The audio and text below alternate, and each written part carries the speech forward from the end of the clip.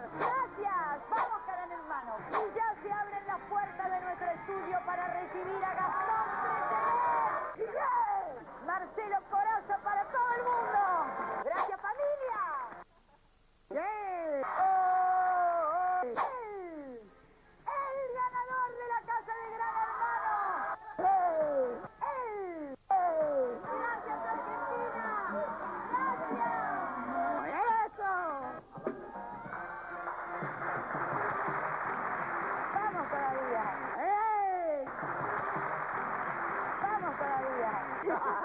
Vamos a